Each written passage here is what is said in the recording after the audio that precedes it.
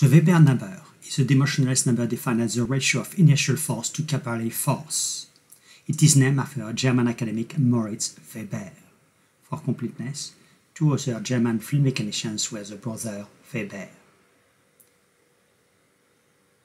The Weber number may be derived from dimensional considerations on the application of the Vaschy-Buckingham theorem, which imply that a Weber similitude should apply to capillary flow when the surface tension effects are important. The Weber number is used in the analysis of thin film flow, the formation of droplets on bubble in small size flow, and the study of heat pipes. The photograph shows a thin nappe of water. Along the nappe, the Weber number increases as the jet is accelerated. Jet breakup occurs when the surface disturbances can no longer be restrained by the capillary resistance. Here, the nappe breakup takes place when the Weber number exceeds about 2.4. This photograph shows a 4 mm thick two-dimensional jet discharging into the atmosphere. The nappe thickness decreases as the jet is accelerated and the Weber number increases. Large disturbances start to appear for a Weber number about 2.1 and ultimately breakup takes place. In open channel hydraulics, the Weber number is rarely considered. Why? First, the inertial force is always much greater than the capillary force in prototype hydraulic systems, and the capillary effects are most often negligible at full scale. The photo on the short movie illustrates the Rotterdam Spillway in operation in June 2018 with a unit discharge of 0.1 square meter per second.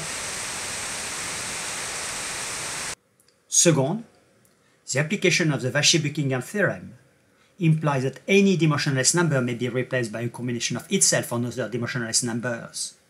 The Weber number in particular may be replaced by the Morton number, which include a definition based upon the Froude and Reynolds number. When the same fluids, for example air and water, are used in model and prototype, the Morton number is an invariant, and thus the Weber number becomes irrelevant where both the Froude and Reynolds number are considered. One may wish to learn more about the Morton number. For completeness, capillary effects may occur in small size hydraulic laboratory model, leading to potential scale effects when extrapolating the physical data to full scale. One may wish uh, to look at physical modeling and scale effect and physical modeling of distorted Froude similitude. In plain words, the use of the same fluids in physical model and in the full-scale prototype impose an additional constraints upon the dimensional analysis.